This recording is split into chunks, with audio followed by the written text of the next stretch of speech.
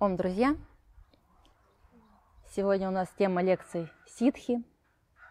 Я долго шла к этой лекции, долго обходила эту тему, потому что очень много разных противоречивых мнений по поводу ситх. Но потом так получилось, что мои занимающиеся часто стали задавать вопросы, к чему приводит йога, можно ли йогой наработать ситхи, нужны ли они. И вот я пришла к тому, что решила записать все-таки эту лекцию. И сегодня мы с вами разберем вопросы, что такое ситхи, какие ситхи бывают, как нарабатываются, как их можно использовать и вообще нужны ли нам ситхи. И также рассмотрим доступные варианты для, для нас. Если будут какие-то вопросы возникать по мере лекции, во, время лекции, я буду стараться на них ответить. Итак, что же такое ситхи? Это сверхвозможности, мистические способности йогов или чудеса. Назвать можно по-разному. И так, и так. Ну, есть такое понятие чудес не бывает, есть степень незнания. То есть каждому чуду может быть объяснение. Пока мы не знаем, не можем объяснить что-то, для нас это чудо, волшебство. А в книге Ричарда Баха есть такая строка «Узнай, что знает волшебник, и волшебство исчезнет». Это действительно так работает. Даже вот у меня был случай из жизни. Я вообще никогда не любила фокусы, мне всегда казалось, что это обман. А потом как-то попала на иллюзионный аттракцион, очень такой сильный был, человек-невидимка назывался, и там были чудеса. Для меня, для ребенка это было просто волшебством. Там летали люди, куда-то все исчезало, там все было в тумане. Очень было так красиво сделано. Для меня это было волшебством. Но у меня был доступ за кулисы, и нам было интересно, как это все работает. И после того, как мы пролезли все эти ящики, волшебство исчезло. Поэтому и с ситками то же самое. Пока мы не можем это объяснить, не можем понять, для нас многое кажется чудом. Э, ситки – это сверхвозможности, которые даются не каждому. Большинство людей, они просто недоступны. Да и что произойдет, если нам, каждому человеку на Земле выдадут по ситхе? Можете себе представить это? Будет полный бардак. Я думаю, что планеты просто не будет. Даже взять вот, э, как пример, фильм «Иван Васильевич меняет профессию». Когда что, эту стенку в магазине тоже можно так приподнять. Люди начнут использовать эти возможности для своих каких-то нужд, для, для своих, исполнения своих желаний. Во, во многих текстах можно найти упоминания о ситках, которые творили такие практики, как э, Будда с учениками, Марпа, Миларепа. Э, и также упоминания можно найти и в других книгах. Я пока готовилась к лекции, я нашла более 10 книг, где упоминались ситхи, но я думаю, что их намного больше. Но самая известная книга является «Йога-сутры Патанджали». Там целая глава уделена этой теме. Тоже, если кому-то интересно, кто еще не читал «Йога-сутры Патанджали», прочитайте, это очень интересно. И упоминания о ситхах можно найти как в буддийской литературе, так и в православных жизнеописаниях святых. Например, мы знаем, что Иисус ходил по воде, лечил людей, э, воскрешал людей, превращал воду в вино. И также Серафим Саровский обладал многими ситхами. И в настоящее время также можно найти людей, которые обладают какими-то ситхами, такими как ясновидение, экстрасенсорные способности. Э, кто-то может предсказывать дату своей смерти, кто-то йоги могут регулировать температуру своего тела, останавливать сердцебиение. Ну, очень много мошенников, которые используют, как сказать, лживые ситхи, которые делают вид, что исцеляют. Может быть, у них какие-то есть какие-то способности, но они зарабатывают ими деньги. Ну и, как сказать, ситхи получаются не совсем, не совсем настоящими. Многие йоги хотят получить ситхи благодаря своим практикам. Но нужно ли это на самом деле? Это вот нужно разбираться. Считается, что каждый йог должен обладать восемью основными ситхами. То есть ситх очень много на самом деле, но есть восемь основных, и в них как бы есть подвиды много более, более мелких, более не таких значительных ситх. Первое – это анима, способность йоги, йогина уменьшать свое тело до размеров атома. Много вот можно прочитать, вот, например, Миларепа обладал такой ситхой. Дальше. Махима. Способность увеличивать тело до огромных размеров. Э, Гарима. Способность стать тяжелым и твердым, как гора. Лакхима. Способность делать тело более легким, парить в воздухе и летать по небу. Так называемая левитация. Прапти. Сила увеличивать любые объекты по желанию. Как пример можно привести Иисус накормил несколькими хлебами тысячи человек. Это тоже вот это ситхи. Она включает в себя предсказывание будущего, чтение мыслей, понимание языков других народов, языка птиц и животных, исцеление больных. Это все относится к этой, к этой ситхе. Прокамья – это сила притягивать удаленные предметы, исполнение любых желаний, способность долго находиться под водой – быть невидимым, сохранять молодость, входить в тело другого. Здесь тоже часто во многих э, текстах можно найти описание, как какие-либо практики переходили в другое тело. Например, Марпа, учитель Миларепы, тоже есть истории, в которые он переходил, переселялся в тело голуби, ягненка, оленя.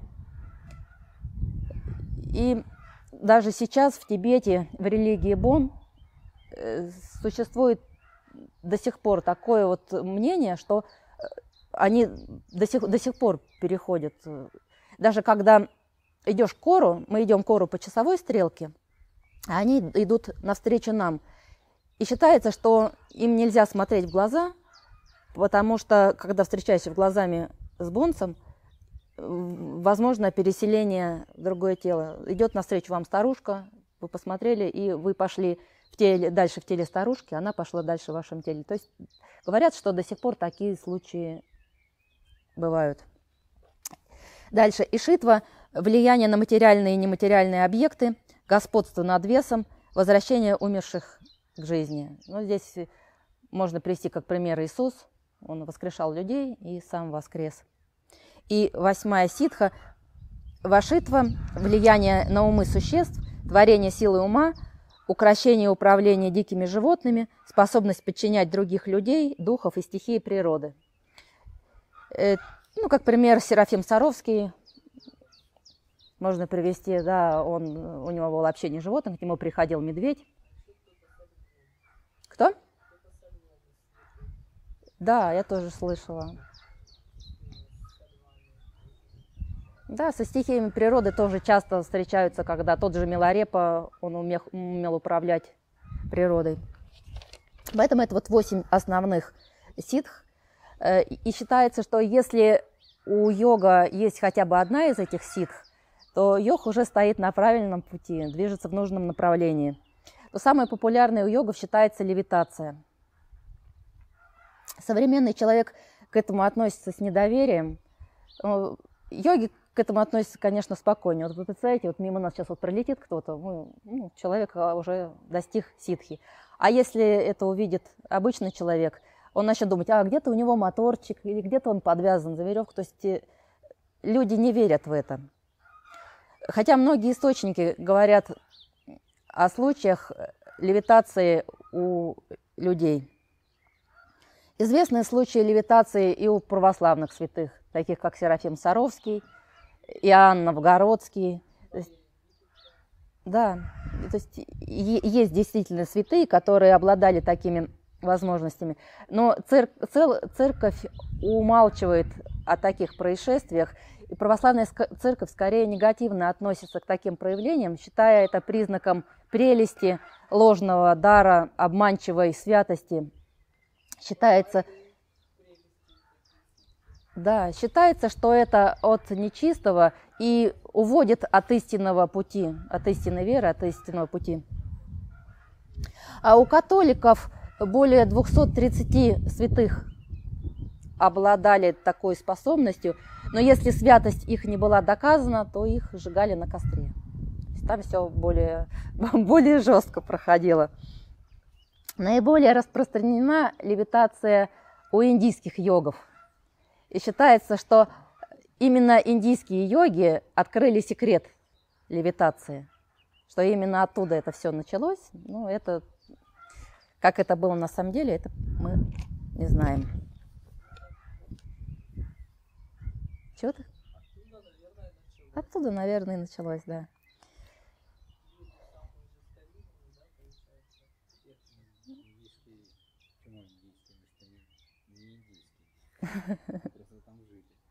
Ну, может быть, да. В некоторых источниках говорится, что эту способность может обрести любой усердный практик. В тексте Тирумантирам написано, на седьмом году практики йог становится легким, как ветер, его ноги могут не касаться земли, и он может парить в небе. Мы можем сказать, как же так? Мы здесь вот уже занимаемся дольше, а почему мы не летаем? Кто-то занимается 10 лет, кто-то больше, кто-то кто 7 лет занимается. Но мы еще пока не летаем. Я думаю, что здесь все-таки описываются более глубокие практики. И человек должен обладать... У человека должно быть сознание более на высоком уровне. И состояние ума более чистым. Потому что просто так, занимаясь 7 лет йогой, я думаю, что ситхи такие не придут. Какие бывают виды ситх? Мы можем получить ситхи с рождения. Часто можно наблюдать, когда маленький ребенок, не пойми откуда, знает много языков. Или человек с рождения обладает ясновидящим, ясновидением. Либо, опять ко мне бабочки прилетают на лекциях. Или может исцелять людей, тоже с детства. Просто в век Кали-юги силы тьмы настолько сильны, что йогические ситхи недоступны все получить за одно воплощение. То есть это растягивается на несколько жизней, и некоторые ситхи мы можем получить уже с рождения. То есть с какими ситхами мы рождаемся, какими мы получили в прошлой жизни, они нам становятся доступны уже в новом воплощении. Также есть э, искусственные ситхи. Это ситхи, которые получаются с использованием магических камней, мантр, ритуалов, употреблений снадобий, отваров трав. Такими ситхами пользуются шаманы и колдуны. Также ситхи можно получить в самадхи. Это уже более такой высокий уровень. Как пользоваться ситхи? как, как, как пользоваться, как их достичь, как их получить. Мы не будем рассматривать э, вариант сорождения, искусственный, да, и самадхи тоже нам до них далеко. Э, есть еще один способ получить ситхи. Это с помощью аскез, неустанной практики, медитаций. Это самый нам доступный вариант. В йога-сутрах Патанджали написано – когда мысли и действия синхронизируются целиком и полностью, йогин освобождаются от материальных ограничений времени и пространства. Это генерирует сверхъестественные способности. С вами Сатинанда Сарасвати говорит, успех ситхи достигается практикой. От одного только чтения книг по йоге успех не придет. Ситхи не достичь лишь ношением одежды йогина или разговорами о йоге. Лишь безустанной практики – секрет успеха. Так вот. Много великих практиков обрели ситхи с помощью аскез. Например, возьмем Миларепу. Он был великим практиком. У него была нелегкая, нелегкая жизнь, и он много ситх обрел с помощью жесткой аскезы. Он ушел в пещеру, медитировал там без одежды и питался одной лишь крапивой, от чего кожа приобрела зеленоватый оттенок у него. Если кто-то еще не читал, почитайте книгу «100 тысяч песен Миларепа». много там информации о нем, много о ситхах написано. И также в православии можно найти примеры. Серафим Саровский тоже достиг ситх благодаря жестким аскезам. Он также ушел в уединение, в лес на долгие годы, жил один, питался три года одной снытью, соблюдал мауну, молчание, и тысячи дней и ночей стоял на каменном валуне без движения и молился, при этом испытывая очень сильную боль в ногах, у него были очень сильно больные ноги, но это ему не помешало выстоять, и благодаря этому он получил э, ситхи, левитация, общение с животными, да и многое другое. Он обладал даром исцеления, к нему часто приходили люди. Также ситхи можно обрести с помощью более жестких аскез. Известный случай, вот если почитать ведическую литературу, там герои, совершая жесткие аскезы, и боги даровали им ситхи.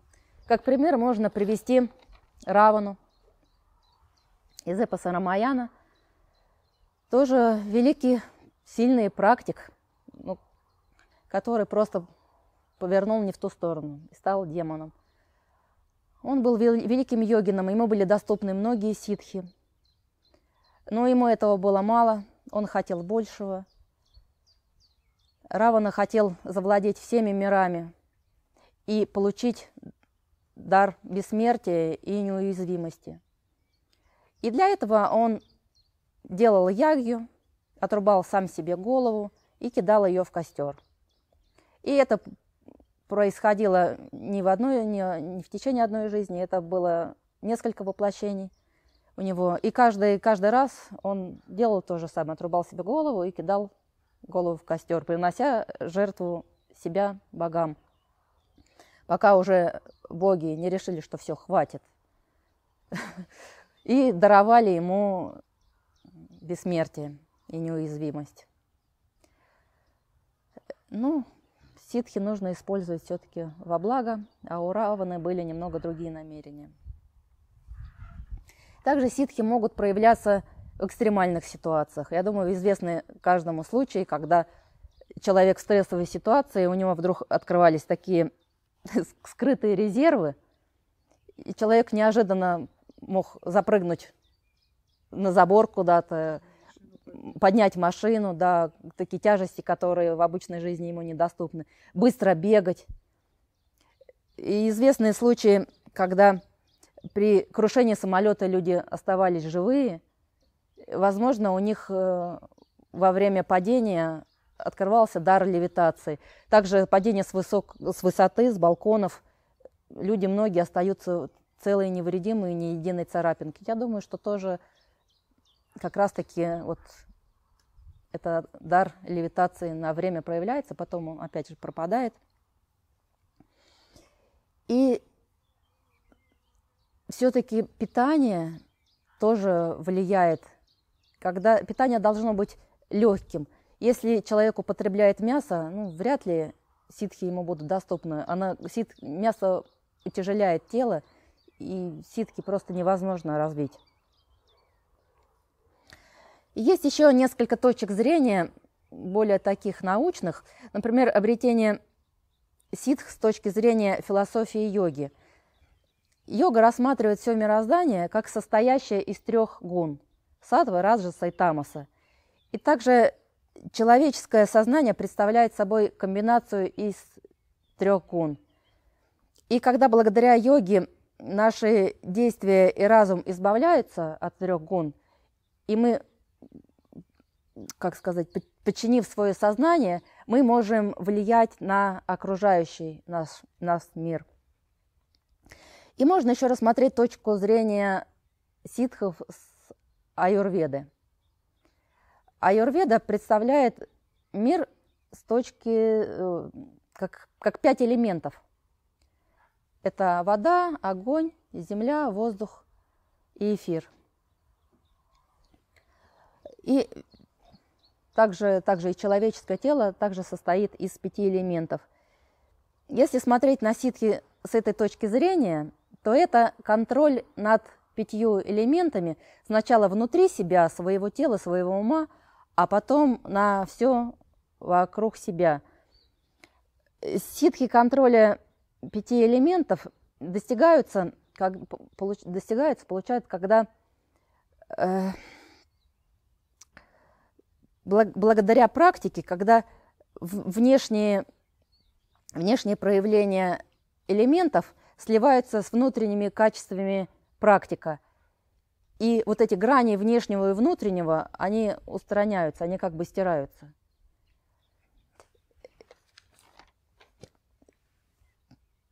Получается, если мы обретаем контроль над элементами Земли, например, то мы обретаем ситхи уверенности какой-то, большой силы. Если мы обретаем контроль над элементом воды, мы получаем неуязвимость от огня. Над контролем над элементом эфира мы приобретаем легкость и получаем левитацию, телепортацию, то есть более такие ситхи. И также можно рассмотреть контроль над другими элементами. Каждый из них дает какие-то определенные ситхи. Э, сейчас зачитаю кусочек из текста Тирумантирам. Те, кто в смирении молится и ищет Бога, не отвлекаясь ни на что, могут обрести восемь ситх. Самадхи важнее, чем ситхи. Многие йоги, которые стремятся к самадхи ради восьми ситх, имеют мало мудрости, потому что высшая самадхи и ситхи – это полное слияние с Богом на всех уровнях. Ситхи не являются высшей целью практики. Тот, кто достиг восемь ситх, не является ситхом. Лишь тот, кто достиг божественного и стал един с Богом, только такой практик является ситхом. Ему восемь ситх открываются в процессе практики спонтанно, то есть неожиданно, когда практикуют. Есть по рассказанному уже вопросы? Все так внимательно сидят, слушают и, мол, и молчат. У меня вопрос есть, может быть, дальше вы будете рассматривать. Вот если там у человека, допустим, открылась способность к исцелению, это же, получается, ну, будет карму свою потом мешать с тем, кого он исцеляет, получается. Да. Э, этот вопрос мы рассматривали, когда была лекция по карме. Да, когда исцеляешь, с одной стороны, ты вмешиваешься в карму больного.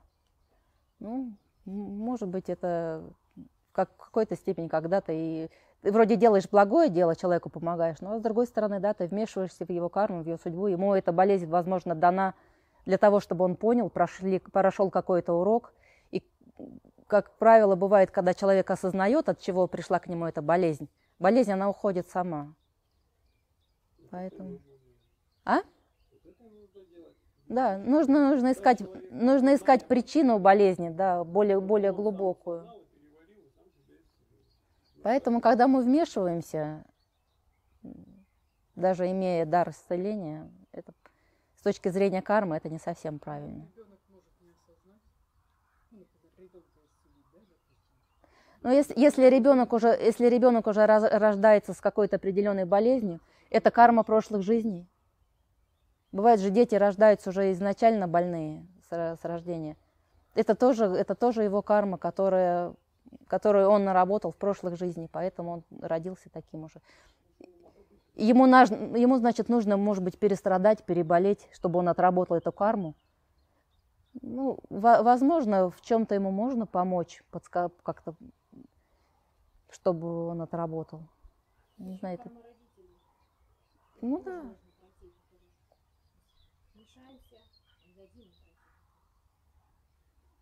Да.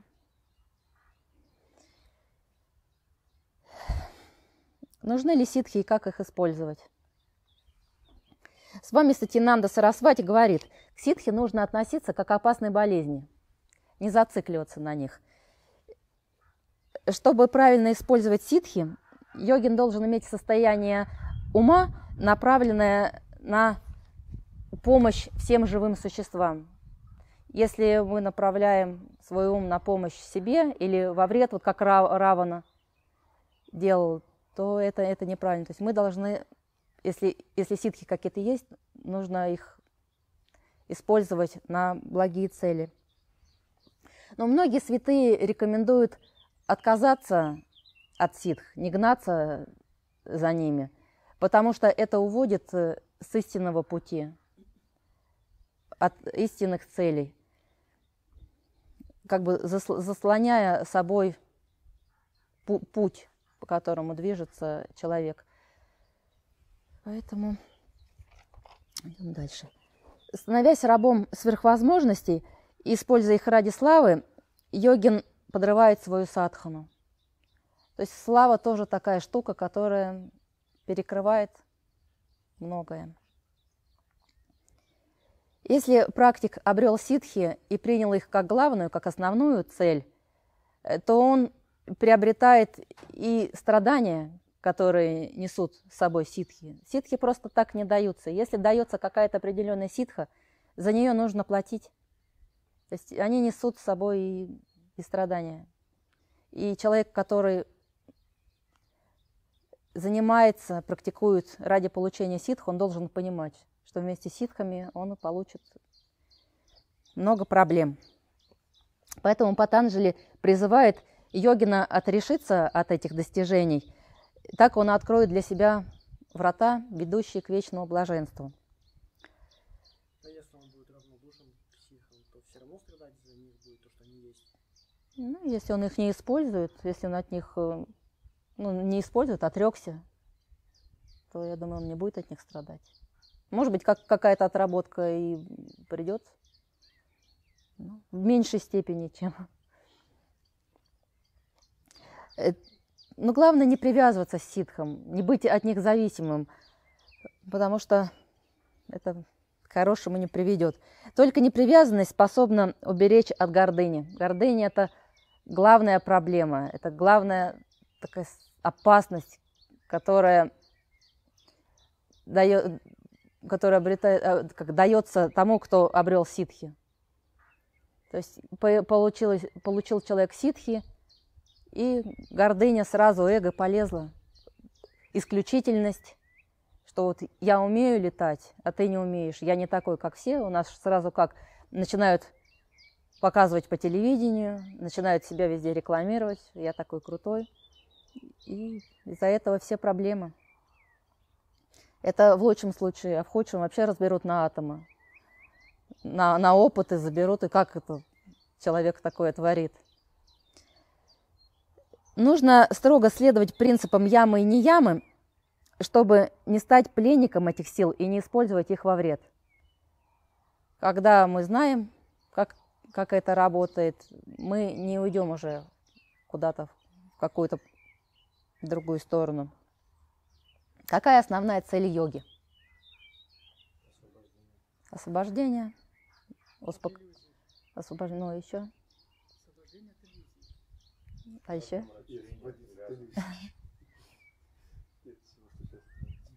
Не, ну это, это понятно, а еще? Освобождение от иллюзий, помочь всем. Ну еще, а? Цель йоги, да.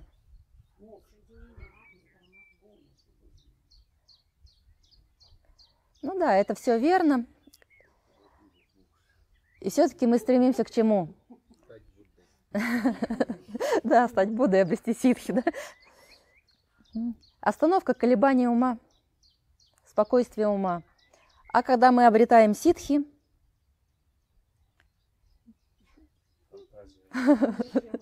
спокойствие ума прекращается. Да, прежде всего йогину нужно работать со своим сознанием, со своим умом.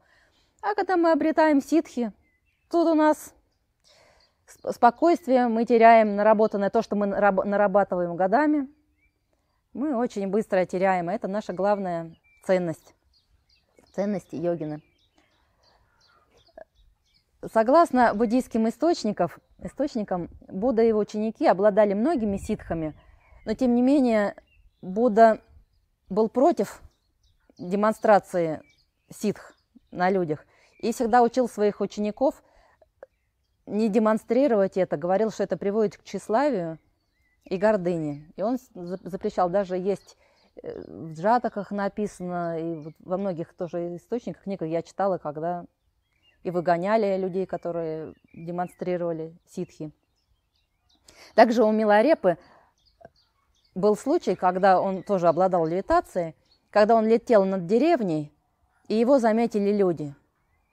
И после этого он сказал, «Когда я приобрел ситхи, и меня видели летающим, толпы людей ринутся ко мне, моля защитить их от зла, исполнить их эгоистичные желания». Это вот тоже главная проблема. Если у нас человек узнает, что кто-то где-то лечит, что делают люди? Толпами идут к нему. Помоги, исцели. Если человек исполняет желание, я думаю, очередь выстроится со своими желаниями. Поэтому этого тоже надо избегать и не демонстрировать, не говорить, если вдруг вам придет какая-то ситха, ну, пусть об этом никто не знает. Если она у вас есть, используйте ее во благо, не афишируйте это. Так как искушение мирской славой уводит с истинного пути, уводит от йоги, от медитации. Искушение мирской славы, искушение Индры. Если кто не знает, Индра – это бог небожителей. Когда-то был человеком, жил на земле, был принцем, обладал ситхами, полученными... Он совершал много аскетичных поступков, и благодаря этому достиг многих ситх, стал, вот, перевоплотился, стал богом, и он искушает людей, которые идут по этому пути достижения ситх, совершают аскезы. И когда достигает ситх, он их искушает славой, уводя с этого пути. Потому что человек получает гордыню и уходит. Ну, как бы устраняет таким образом соперников себе. Есть вопросы? Как вообще используют во благо ту же самую левитацию? Ну, смысл летаешь, ты летаешь. Нет, ну мы вот буквально, когда позавчера, вот, вот, мы только вот, э, когда вчера или позавчера вот с Эдиком разг, разговаривали на эту тему, я, я говорю, вот, какая бы ситха, мне, например, бы очень не помешала бы телеп, телепортация. Потому что у меня очень много времени уходит на перемещение с одного объекта в другой. Он говорит, ну, например, да, мне, мне он, Эдди говорит, ну, например, как бы ты использовала телепортацию? Я говорю, ну, в йога-лагерь переместился. Он так, понятно. Еще. Я говорю, ну, в Тибет бы слетала, переместилась бы тоже, потому что такая длинная дорога, а тут сразу раз, и уже и в Тибете. Он, да. Я говорю, на работу летала бы. А он, а, деньги зарабатывать. Это, это уже неправильное использование, это уже использование как бы себе, это идет зарабатывание денег, как бы на, наживо.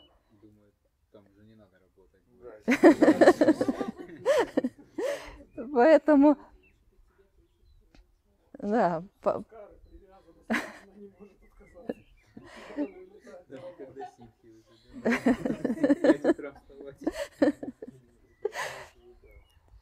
поэтому ситхи тоже можно использовать по-разному. И ту же левитацию, и ту же телепортацию. Где можно, например, использовать левитацию? Кто может придумать? Во благо.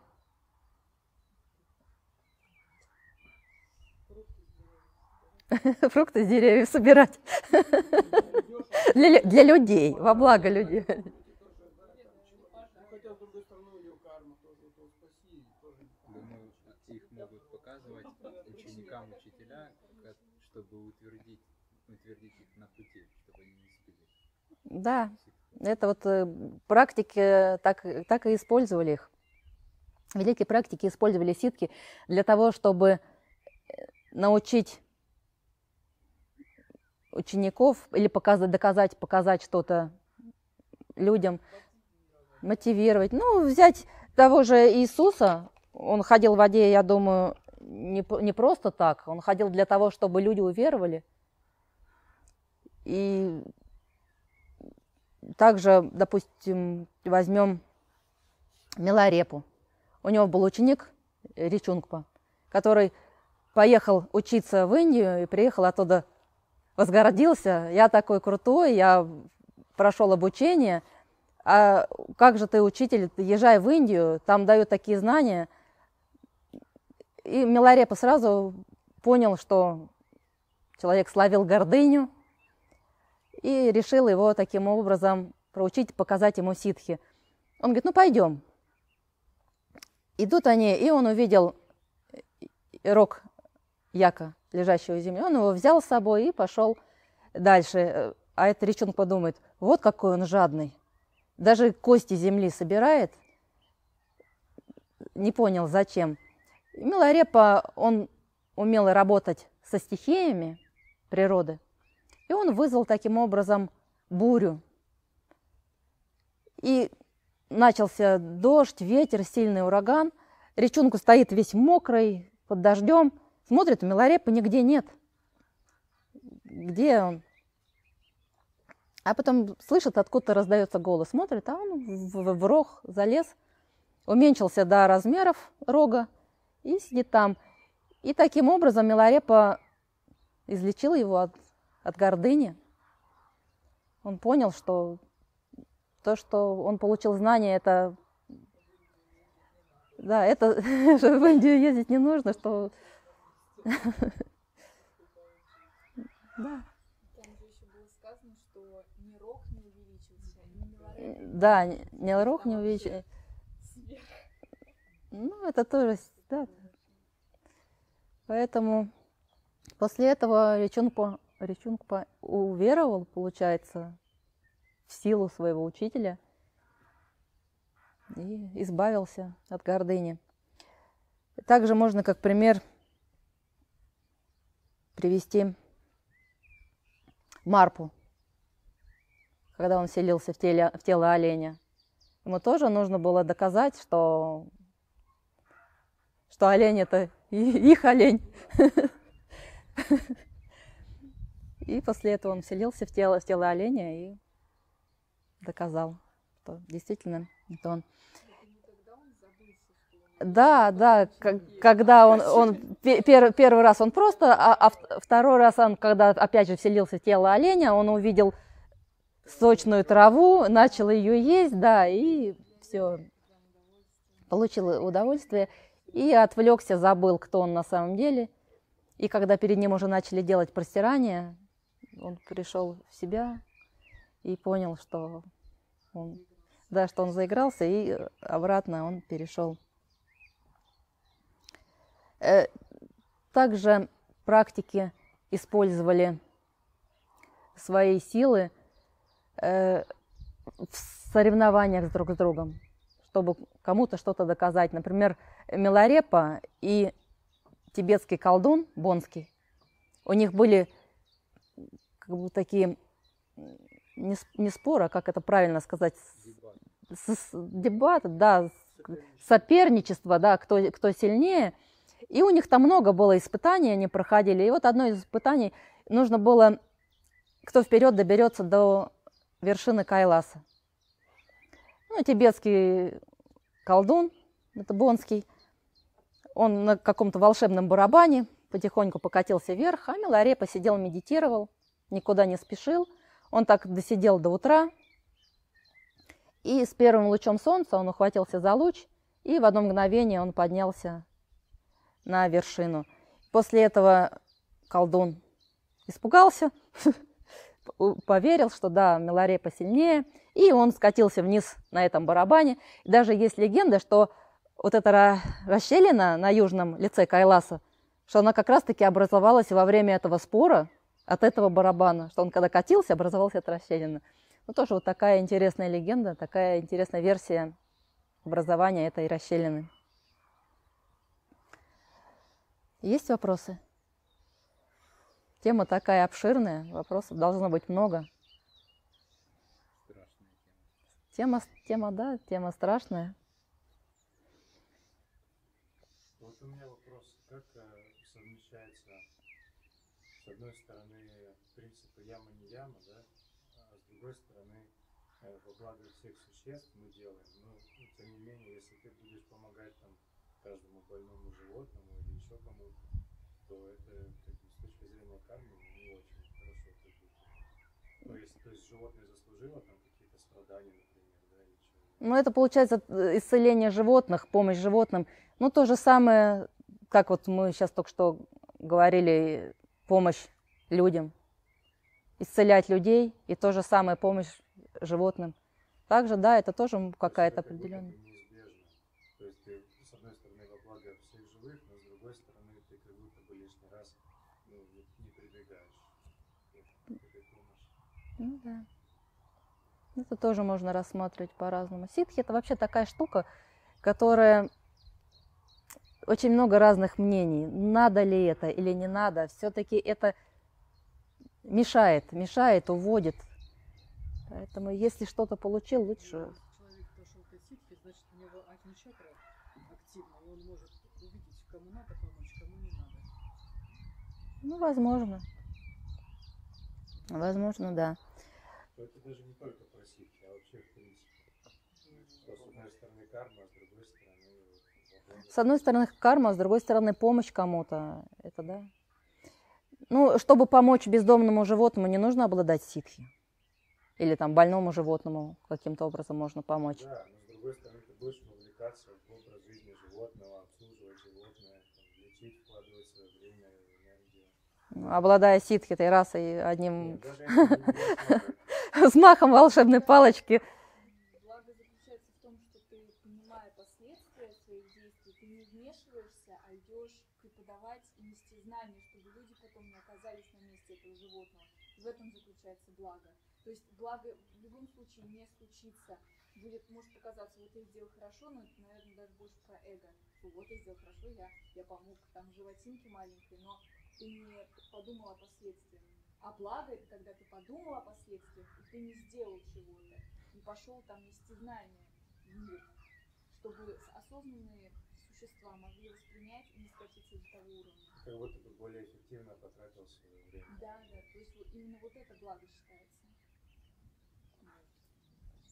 Да. Хорошая тема. Но мы вот с вами занимаемся йогой. И можно задать такой вопрос. А нам доступны ли какие-то ситхи? Вот нам, об- обычным йогам, не великим каким-то практикам. Есть такое понятие, как простые ситхи, доступные, которые мы с вами тоже можем приобрести. Это овладение добродетелями ямы не ямы также может привести к ситхам. Например, э, соблюдая ахимсу, ненасилие, можем обрести ситху безопасности, не- нейтрализует всякую враждебность. Бывает, человек обладает такой способностью, рядом с которым спокойно.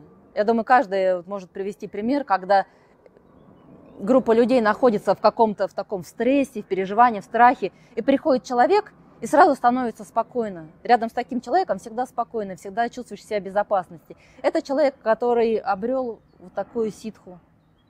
Э, Также соблюдение сати, правдивость, дает человеку силу слова. Можно вот говорить, говорить, говорить, говорить, и люди не слышат. Ну как так? Я вот говорю, а на меня не обращают внимания, меня не слышат. А если человек соблюдает сатью, соблюдает правдивость, никого не обманывает, тогда он получает си- силу слова, человека начинает слушать, прислушиваться, человеку доверяют. Это тоже важная ситха, которую мы можем обрести. Но очень важно понимать, кому и что говорить. Каждой аудитории, каждой группе людей одну и ту же информацию нужно доносить по-разному. Разными словами, кому-то что одно сказать, кому-то другое. Это тоже ситха. Это тоже нужно уметь, нужно понимать, кому и что можно сказать. Астея, не воровство. Дается людям ситха лег- легко исполняются, ну, как сказать, легко приходят деньги, дается неожиданное какое-то богатство, всякие сокровища, быстро исполняются желания. То есть человек, который не жадный, который не ворует, не берет чужого, ему, в принципе, нич- ничего не надо. И он захотел что-то. Деньги приходят просто легко. Вот нужно, нужно, нужны деньги на что-то. Деньги пришли. Захотел человек какую-то вещь. условия создались так, Вселенная услышала, и человек получил такую возможность, ему это пришло. Но опять же, нужно использовать во благо, если эту ситху использовать, там, я хочу то-то, то-то, то-то, то, то тоже это будет неправильно. Э, Апариграха, нестяжательство, ненакопительство, дает доступ к пониманию своего прошлого и нынешнего воплощения. Брахмачария, целомудрие, отказ от удовольствия, дает йогину огромную силу, наделяет его тело мощью и особой привлекательностью. Ну, здесь тоже все понятно. Тоже ситхи, доступные нам всем. Но самое главное ситхи – это сострадание и помощь другим. Э, Калу Ринпоче говорил, нет более высоких ситхи, чем сочувствие. Это, это вот ситхи, которые можем мы с вами получить, соблюдая яму не яму. Есть вопросы? Еще можно приготовить вкусный салат и накормить всех, все будут довольны, вы тоже ситхи сумели. Приготовить вкусный салат и накормить всех тоже ситха. Не каждый может. Не каждый может приготовить и накормить и А насытить всех. не Да, Особенно если накормить практиков. да, если накормить практиков, это... И, дурва, и дурвасу накормим.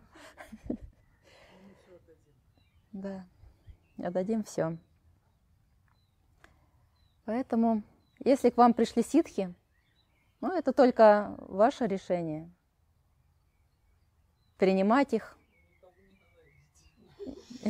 Никому не говорить это однозначно.